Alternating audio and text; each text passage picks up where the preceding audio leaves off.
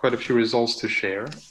Um, it's called RPPLNS, or uh, pay per last N shares with a randomized twist. And this is joint work with Francisco Marmolejo Cossío, Jonathan Katz, and Xinyu Zhou.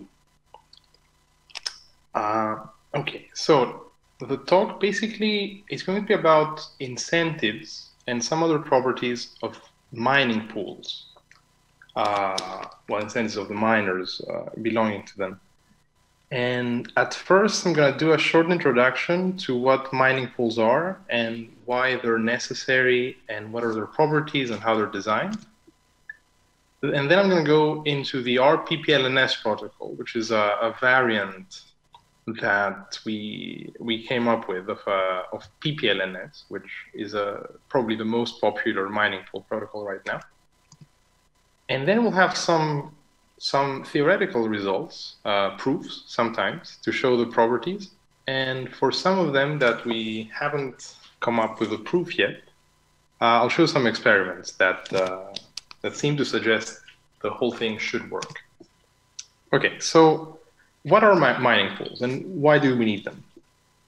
Um, well, the first reason is that mining is very profitable. Well, can be profitable, um, but there is a very large variance in the payouts. So, for example, uh, the current block reward, so the amount of bitcoins in dollars or value uh, when somebody mines a new block, is 115,000. At least that was yesterday. Uh, and a block is found roughly every 10 minutes. And this is every 10 minutes for the whole Bitcoin network with all of its processing power.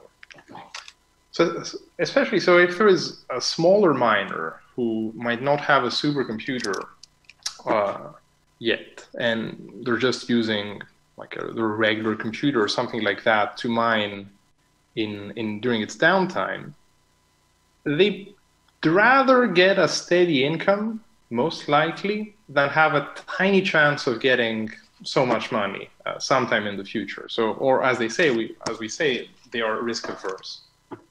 So to do this, to to fix this variance issue, um, people have been combining their computational power together, so that it's more likely that they mine a block, uh, and then they share the rewards. Okay, so. Um, basically it's what I said before. It's uh, they combine their powers and form pools. And let's see, these pools need to have a couple properties uh, before going into the details of specific pool implementations. So um, these usually are compared to mining alone, except for one, and I'll talk about this. So the first thing that we want out of a mining pool is fairness. So if somebody has a specific hash rate, which would yield uh, some kind of expected uh, uh, reward over a period of time, joining a pool should not change it. It shouldn't decrease it. I mean, if it increases it, it's I guess it's better, but this is not possible. So uh, it shouldn't decrease it. It should be the same.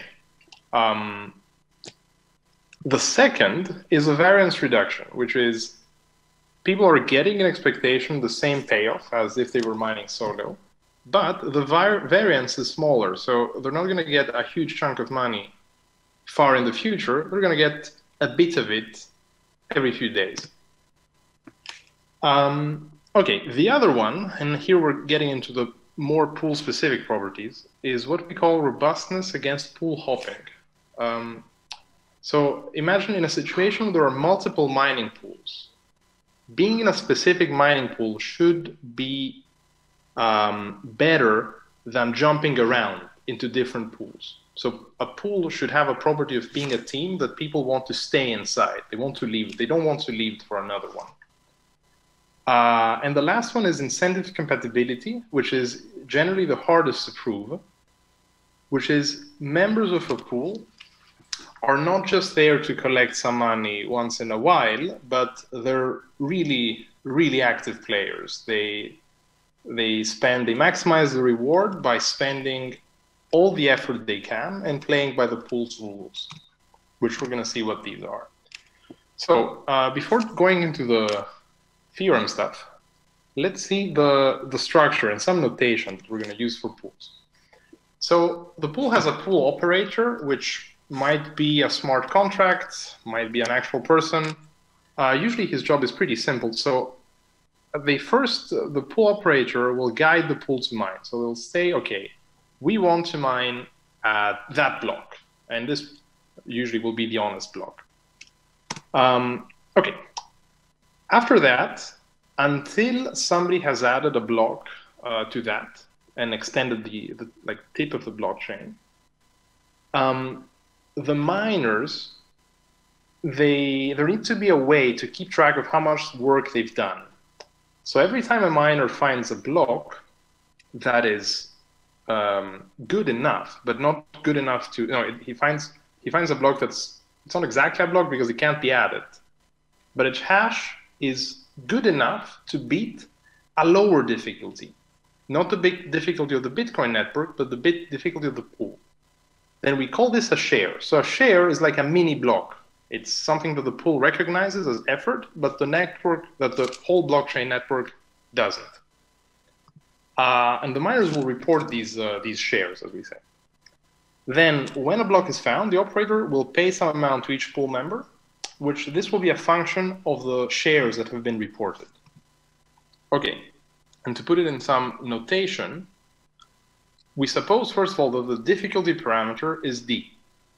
Specifically, in this talk, the way we're going to use this d number is the higher the d number, the easier it will be to mine compared to Bitcoin. So if d is a 1,000, this means that it's a 1,000 times more likely to get a share than to get a block. Um, then, we're assuming that there are n pool miners, M1 up to Mn, and one of them is not honest. And we're going to study him separately to show that his best response is to be honest as well. Then we say that a pool miner MI has hash power uh, alpha i, uh, which means this is his hash power for mining shares. So specifically, at every step, uh, this is a discrete time process, uh, except for one result. Um, we're assuming that alpha i is a probability that mi mines a share. And here's where the difficulty comes into play. Um, we also say that there's a further 1 over d probability on top of that, of that share being a full block. Um, oh, just to add a, a, tiny point here, this d parameter in most pools, although this is not really standardized, and there isn't too much research that I know of in optimizing the d value, it's usually selected to be of the order of n, of the number of miners in the pool. It might be, I think the only value I've seen written down in uh, any kind of publication is n over 2 as a suggestion. Uh, but most pools don't actually reveal, at least they don't make it easy to find what it is. Um, okay. Then the pool has an internal state, which keeps track of the shares somehow. And this will evolve depending on what shares are being reported and what blocks. And using that, the payments will be will be allocated. Okay, before going to PPLNS, we're going to see some very simple mining pools that are worth mentioning just to see the shortcomings and how these were alleviated. So the simplest, perhaps the simplest idea to, to do a mining pool is to just collect all the shares and at the end, once a block is found, we can just pay each user uh, a fixed amount, uh, which is multiplied by the proportion of shares they have. So let's call that one block has a block reward of one. Every user would be awarded the proportions of, of shares he has at that point times one. So this is fair because uh, the higher the hash power, the higher the proportion of shares you will have. It's budget balanced, so the pool operator will never have to pay more than the block reward. And it reduces variance. However, it's not incentive compatible, and it's not hop proof. And the reason it's neither of those things is that the proportion of shares increases faster the less shares somebody has in the pool. So if somebody has no shares and finds one, that's a pretty big increase.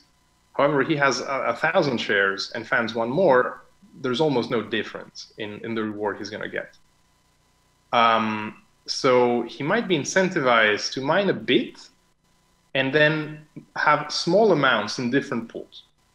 And for the same reason, it's not incentive compatible. Um, so how about if we don't do this and we just pay a fixed amount per share? We don't care about the proportion. Let's just pay it like that. So this is fair, reduces variance, and it's incentive compatible because as long as this fixed amount uh, is, is good enough, um, there's no reason to stop mining shares. The more somebody mines, the more he's going to get paid. However, it is not hop proof. And uh, most importantly, it's not budget balanced for the pool operator. So unfortunately, that doesn't quite work either. But there is a way to fix this. And this is the currently most common mining protocol. It's called the pay per last n shares. And instead of keeping track of all the shares that have been mined for between two blocks. Uh, the pool only cares about the last n shares. And this, maybe I should have used a different symbol, but this capital N is not the same as the as the number of miners. It's it's different. Um, so uh, the shares here they're in a queue, and specifically, what happens? We have the shares from uh, from oldest to newest, from left to right. And whenever a new share, and suppose that the queue is full now, we have n shares. When a new share appears, it's going to be added to the queue, and it's going to knock the oldest share out. And after the oldest share is pushed out, it's gone. Uh, so let's see. So updating the protocol like that is fair, uh, proof, and reduces variance. Um, because it has all the properties of the previous protocols, but it has a parameter that keeps the user engaged somehow. If a user hops to a different pool and, and waits, then his share is gonna is gonna be too old and it's gonna be pushed out and it's not gonna get paid. Um, the only trick is the incentive compatibility, which there are proofs that it is uh, incentive compatible, but they only work for a very restricted set of strategies. Uh, specifically, the one that I'm familiar with works if the strategy is to hoard the shares and release them all at once with a block, or mine honestly. If these are the only two strategies, mining honestly is always better than hoarding everything and then throwing it away, uh, and then publishing it with uh, when a block is found. Uh, but maybe more nuanced strategies might be better. So here is where pay per last n shares randomized comes in. So this is a, random, a, natural, a random, a natural randomization of PPLNS, where instead of having a queue, we had the idea of having a bag instead of that. And the bag is essentially it's like a queue, but doesn't remember the order. It just has a fixed amount of things it can hold. So every time somebody reports a share to the operator, um, it uh, replaces a random share rather than the oldest. So something like that. And this, it seems, at first it seems, well, this is just the previous, but randomized. What's the, why is it better? And there are some reasons it might be better. Uh, so it has it's fair, hop proof, and reduces variance, uh, same as before. But we can, at least for now, we can experimentally show that it is incentive compatible in a pure Nash equilibria sense. If everybody's mining honestly, then the best response of the remaining miner is to mine honestly. Uh, but and there might be a pathway towards a proof, but it's not it's not there yet, but there is a, a plan of attack. Okay, so hopefully the, the protocol made sense. Uh, and now we're going to go into quickly sketching some proofs um, when it's possible, or just talking about the results for the, the, the basic things we prove. And this is quite similar for the other mining pool structures as well. Okay, the first thing, the easiest I would say to show, is that randomized pay per last n shares is fair. Um, so rigorously, uh, suppose that we have a honest miner M with a hash power of alpha. Then the expected per turn block reward is alpha over D, where D is a difficulty. So uh, bear in mind that the reason it's fair is that if he was mining on his own without the pool, he would have an alpha over D chance of uh, finding a block at every step. Alpha is hash power within the pool, as D and D is a difficulty parameter that says how much harder it is to mine an actual block. So here, uh, clearly, uh, whether he's inside the pool or outside, his expected reward is the same. There is a minor caveat that usually a pool operator will skim uh, some amount and he won't actually pay exactly alpha over D of the block reward, but this is typically very, very small. So generally in papers, people ignore it. Okay, so the proof sketch, which this is a, it's pretty, pretty simple. So after n mines a share, uh, let z, z, be a random variable of the share's lifespan. So it's, it goes in the bag, and then it will live for a few steps, but it, there is a chance that every step that's going to be pushed away. Uh, z minus 1, however, follows a geometric distribution with mean n minus 1, because the first turn that it's inside, it's going to stay inside because it's just been mined. And then after that, there is a 1 over n chance of kicking it out at every step. So this gives us a geometric distribution. Then if we say that uh, yi indicates if somebody, somebody mined the block, i turns after the share, we have that the expected payoff, uh, like the payoff as a random variable, is this x, which is the sum for all the rounds that the share is alive times uh, yi over n. And all of these variables here are independent. So instead of doing it like that, we can uh, use Wald's equation and pull out the sum outside, essentially, because the sum, the its borders are randomized. So we can just have it like this. Uh, all the yi's have the same expectation, and the expectation of z is n, because z plus 1 is geometric with mean n minus 1. And the expectation of, uh, of y is 1 over d, and then we have the 1 over n. So multiplying everything together, we get uh, 1 over d. So 1 over d is the expected payoff of a single share. Uh, and then since the chance to mine a share at every step is alpha, putting both together, we know that the expected payoff per turn is alpha over d. Okay, let's move on to the second result. The second is the variance reduction, which is a slightly more fine-grained analysis of what goes on inside the pool. And we're not going to go into too much detail here. But basically, the variance looks like that. This is very similar to the PPLNS variance. It's about twice as big as the PPLNS variance because of the added randomness. Um, and as a comparison, somebody who would be mining on his own, he would have a variance of alpha over d minus alpha square over d square, which is uh, much larger because the alpha square over d squared term is shared between the two variances. And then the first has a term alpha over nd plus alpha over d squared whereas the second has only an alpha over d.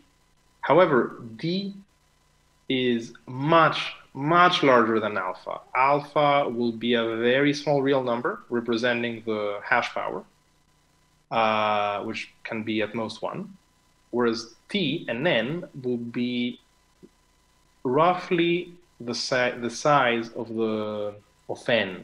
Uh, uh, sorry, d will be roughly the size of n, and n for a big pool, might be billions, trillions more. It might be huge. So the variance is actually is insignificant, whether it's randomized PPLNS or just PPLNS. Okay, then we have the hop proof, and this this needs a, a slight assumption, which is very standard uh, in the hop proof uh, world. So, um, okay, let's start with the assumption. So uh, rather than assuming a discrete time step situation, we're gonna assume a Poisson process uh, situation here that blocks come from. And this will be clear uh, in a second. So in a post, we, we're assuming that blocks are mined by a Poisson point process of rate one, and the rates for the two um, two different pools that we're examining, whether it's good to hop from one to the other, have rates d1 times h1 and d2 times h2, where hi is the pool's uh, hash power. So why do we do this? Well, the reason we do it, you, you have to use some sort of relaxed version instead of a per turn uh, approach, is that if somebody, even in PPLNS, if somebody has mined so much that all of the shares are his, then next turn, if he mines another one, he's just going to add it and get rid of one of his own. It's better to just add it to a new PPLNS pool where the share is going to live longer. Uh, this is a bit of an artifact, though, and the way to get around it is to assume a Poisson point process uh, of a duration t that will exclude such sort of corner cases, like what would happen if you knew you would mine the next share and you had uh, n shares available. So if we assume this slightly smoothened situation, we can show this. Now, this was not much point in reading it, but basically, if somebody splits his time into intervals I1 up to IK of mining between M1 and M2, the two pools, we can show that his reward is alpha over D1, where alpha 1 is his uh, initial endowment of shares in pool 1, plus alpha over 2, which is his initial endowment in the second pool over D2, plus alpha times t. Crucially, the reason this, in a sort of roundabout way, shows that it is um, hop-proof is that the final expression of the reward does not depend on the partition of how he mine, how the user, the miner, hopped from one pool to the other. So this means that he, if it doesn't matter how he hops around, he just doesn't have to do it. Um, okay, the the theorem is not that important. The important for the in the world of pool mining is the assumption of the Poisson point process when the step uh, stepwise uh, approach is a bit too too clunky. Okay, and now this is the last uh, result, uh, and technically the the main interest because at the end of the day, uh, RPPLNS, uh, its claim over PPLNS is that there is a slightly better motivation in terms of uh, incentive compatibility. Is that RPPLNS incentive compatible? Uh, so it's incentive compatible with a minor caveat that also holds for PPLNS, that this only happens if the miners are not too far away of the steady state. So if, if the pool has hash power beta, the remaining, and the miner has a hash power of alpha, the steady state would be to control alpha over alpha plus b beta times n shares. This would be the steady state, given the, the, uh, the properties we've shown so far. If we're close to that, then the pool, the miners will be incentivized to keep mining and reporting the shares and block immediately. Now, to show this or to set up the experiment that supports this, um, what we can do is we we have a situation with one honest miner, uh, sorry, one uh, deviating miner, M1. Uh, all the other pool miners, we assume they're going to be honest and call them M2. It doesn't matter that we've bundled them up together because if they're honest, they're going to do the same thing. No matter who of them mines, he's going to do exactly the same thing. So we can bunch them up together. And then we have the honest extra pool miners that are uh, outside of the of the pool and might affect it. So this suggests that we, as looking from the, the world from the perspective of M1, we have a formulation where the system can be captured by a tuple LSB, where L is the shares of F1 in the bag, S is the private shares which he has collected but hasn't revealed yet, and B is whether M1 has a private block that he hasn't revealed. Because B, because the honest, the miner might want to keep everything, and once he finds a block, reveal it then, or do something like that. Now, doing this, we can compute a recursive equation that gives us, after k turns, the uh, optimal expected payoff uh, the expected optimal payoff, rather, um, of the strategic agent after k turns. This has he has four things he can do. He can either wait uh, and mine.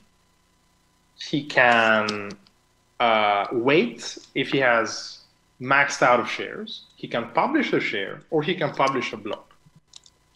Now, every term of this is very long and we won't have time to go into it, but basically, taking a million cases, we can fill this equation. Let's skip this. Um, okay, what this tells us, however, is that we can devise a potential by taking the limit of this as k goes to infinity, or very large with a computer, and dividing by k. So this f of LSB is how much better one state is than another. And specifically, if we can show that the potential of state L plus 1 is bigger than the state L comma 1, this would mean that having L plus 1 public shares is better than having L public shares and 1 private. Therefore, you're incentivized to release shares immediately.